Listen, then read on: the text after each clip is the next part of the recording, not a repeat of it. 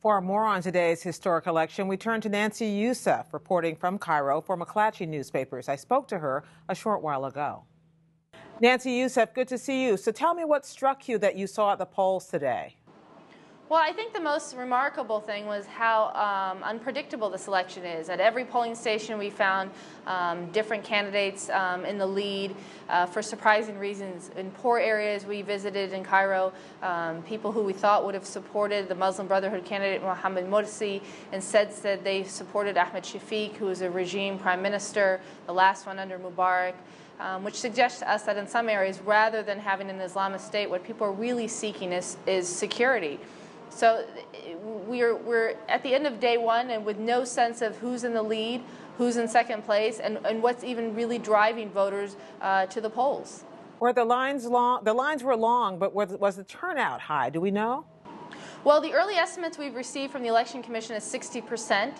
Um, it seems to be a guess at this point, which is as uh, lower than it was during the parliamentary elections. Uh, so, in, in, that sense, it was lower than, than expected. Uh, so we'll see if day two proves to be better. One of the differences between the parliamentary election and this one is that voters had the days off as holidays during uh, the parliamentary elections.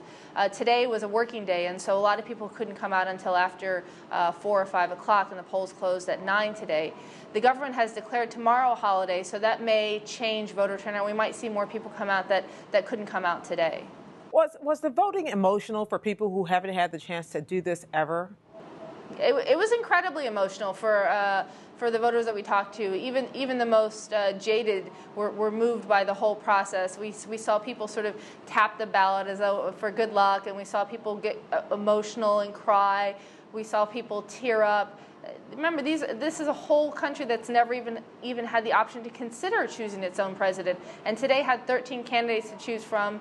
Um, you could see you could see that see it in their faces. Really, just the shock at that this day had, had, had come just 15 months after the revolution.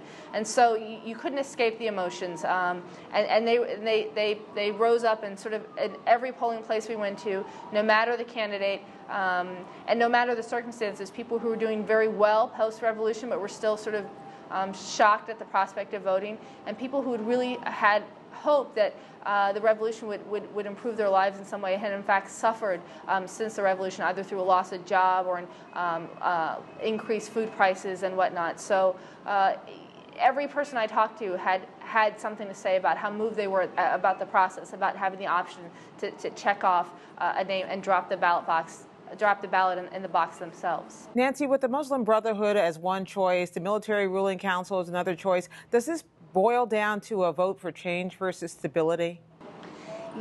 Yes and no. I, I think it's it's a choice of where you want the country to go in the future. It's it's in a way um, a, a, vote on the Muslim Brotherhood and how well you think they have or have not performed in the parliament. Um, it's, it's a vote on whether you think the, that Egypt has gone, undergone too much change and has become too unstable, or in fact hasn't done enough change and needs, and needs to do more. Uh, there's a whole mosaic of factors that kind of come into play in terms of what's bringing this together. But at the most basic level, yes, it's, it's a choice between those who believe that, that Islam should be a guiding principle and that, that an Islamic um, uh, candidate can, can bring about the kind of change that, that the revolution had promised, and, and those who think that, that that too much change has happened in too short a period and that what the country needs right now is stability and a leader with experience who can guide it to, so that the, so that the, the change that, that everybody sought 15 months ago actually happens in a productive, um, healthy way for the country. And finally, Nancy, were there any irregularities uh, reported in today's voting like we saw during the parliamentary elections?